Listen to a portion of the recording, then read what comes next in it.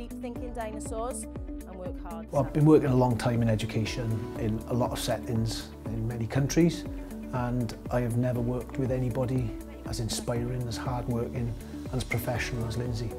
I've always wanted to teach since I was a little girl.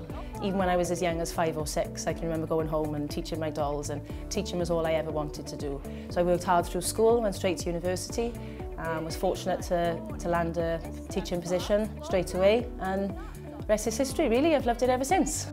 She's a great teacher, she's hardworking, she's helpful, organised. She, she's really good with the children, she's very patient and always turns a negative into a positive. She's a friendly, approachable, realistic teacher. She's just fabulous. She could just got away with the kids. If you've got anything the matter, if you've got any problems with the children, you can just go to her. When I found out I was nominated, uh, I was completely shocked. I didn't expect it at all. Uh, I'm really flattered by, by it all. Um, and it's lovely to think that my hard work in the school is being recognised. And thank you to my head, Mike Goff, for the nomination and for also believing in me when I don't always believe in myself.